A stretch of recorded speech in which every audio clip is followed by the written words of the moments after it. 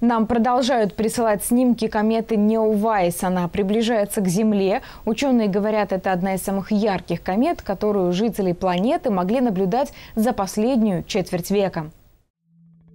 Ученые, астрономы-любители и просто любопытные готовы не спать ночами, чтобы увидеть комету Неовайс. Вчера мы рассказывали о фотографии кометы, которую сделали на телефон в Тирасполе. После выхода сюжета к нам прислали еще фото. В соцсетях по всему миру их сотни. Неовайс – одна из самых ярких комет, которые когда-либо пролетали над нашей планетой новая комета, открытая 27 марта, космическим инфракрасным широкоугольным телескопом, вот, успешно сопровождаемая. Она э, у нас 3 июля прошла перигелии э, Солнца, это самая ближайшая точка к Солнцу, не разрушилась, к счастью, потому что она была в три раза ближе к Солнцу, чем Земля.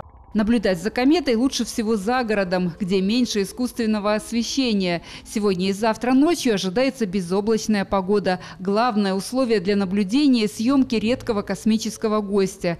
Сейчас Неовайс появляется около трех часов ночи на севере-востоке, недалеко от яркой звезды Капелла в созвездии Возничего. В ближайшие дни она станет появляться раньше как раз после 15 июля лучше всего ее наблюдать уже после захода Солнца.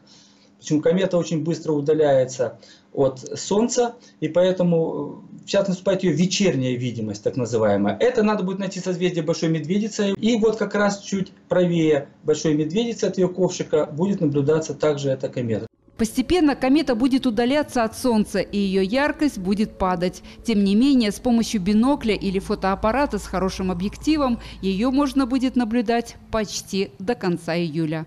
Алла Горбатенко, ТСВ.